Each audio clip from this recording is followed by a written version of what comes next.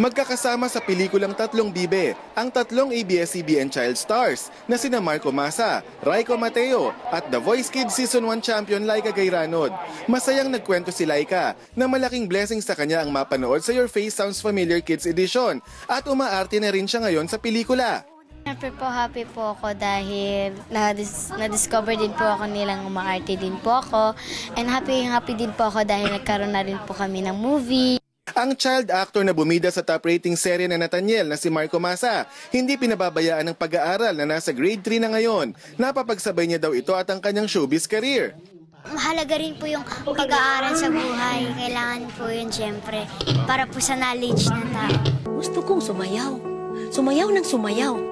May importante namang papel si Mami Junisha Pacquiao sa pelikulang ito pero di nakarating para magpa-interview. Nagpapalakas na ngayon ang ina ni Manny Pacquiao na nagkaroon ng minor accident.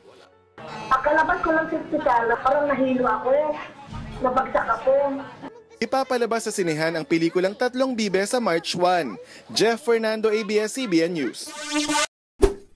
Basta tayo'y